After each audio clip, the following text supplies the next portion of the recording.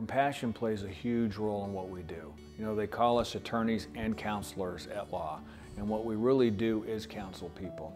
And I know myself and plus everybody here at Bisnar Chase takes that part of the job very seriously.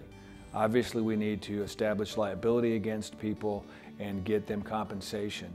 But that, that deals with the physical wounds. But involved also with all of these people are emotional wounds.